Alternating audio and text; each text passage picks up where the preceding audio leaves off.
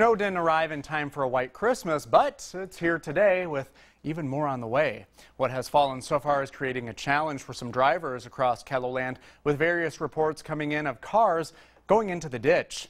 For an update on road conditions, we go to KELOLAND Dan Santella, who is near Interstate 29. So Dan, what are you seeing out there?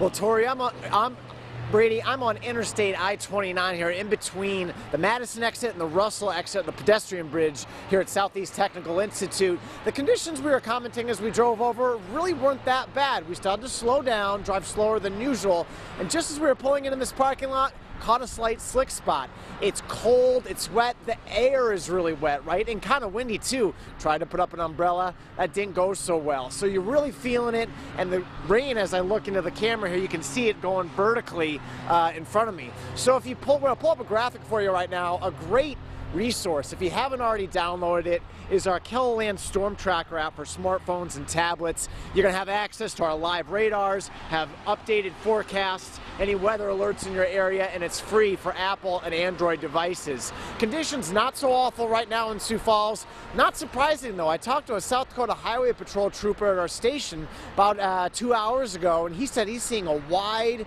differences in conditions across the state.